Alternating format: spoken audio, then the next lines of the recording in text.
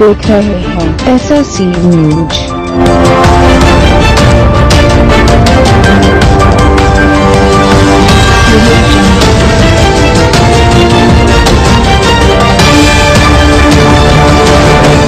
international S S C news Machalpur नगर में Jirapur road पर स्थित उप तहसील कार्यालय, टप्पा परिसर में शुक्रवार दोपहर को प्रथम श्रेणी न्यायिक मजिस्ट्रेट सचिन जैन की मौजूदगी में विधिक साक्षरता शिविर का आयोजन हुआ, जिसमें उपस्थित लोगों को मजिस्ट्रेट नायब तहसीलदार व अन्य वकीलों ने कानूनी की बारीकियों की जानकारी दी, साथ ही अधिकारों संबंधित बात से अवगत करवाया। इस मौके पर बताया कि हर गरीब को भी अमीर के बराबर ही न्याय पाने का पूरा अधिकार है। अगर कोई गरीब वकील को फ़ीस नहीं सकता तो उसके लिए वकील की व्यवस्था शासन करता लेकिन उस व्यक्ति को एक आवेदन देना होगा। साथ ही बताया कि अज्ञात वाहन से एक्सीडेंट के अधिकांश केस में व्यक्ति अपने शरीर का अंग खोने पर व्यक्ति या मृत्यु पर परिवार क्लेम नहीं करता, जबकि यह उसका अधिकार है क्योंकि क्लेम होने की दशा में शासन उसे चार लाख रुपए तक की सहायता दे सकता है, लेकिन आपको जागरूक रहने की ज़रूरत है। श्री जैन ने बताया कि आप कोर्ट जाते हो, लेकिन मजिस्ट्रेट को आपके पास आते देखा क्या है, लेकिन आज आपने विधिक में साक्षर करने के लिए हमारे क्योंकि सुप्रीम कोर्ट का कहना है कि कोई भी व्यक्ति न्याय से वंचित न रहे जिस प्रकार संविधान में समानता का अधिकार है, उसी प्रकार कानून में भी हर व्यक्ति को न्याय पाने का अधिकार है। इसीलिए उच्चतम न्यायालय ने वकीलों की पैनल नियुक्त की है, जो आपको न्याय दिलाने में सहायता करते हैं। शासन ने आपके लिए कई सुविधा उपलब्ध करवा रखी, सिर्फ़ जानकारी के अभाव में आप लोग उनके लाभ से वंचित रहते जिस प्रकार तहसीलदार को नकल या अन्य जानकारी मिल रही तो आप लोग सेवा केंद्र आवेदन कर 24 घंटे में ले सकते हैं। अगर विभाग कार्य नहीं कर रहा तो पेपर की कटिंग के आधार पर कोर्ट संज्ञान लेकर विभाग पर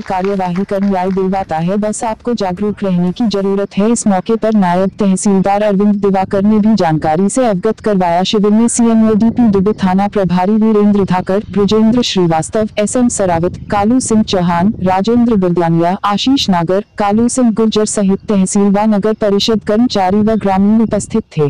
माचलपुर से प्रदीप बंसल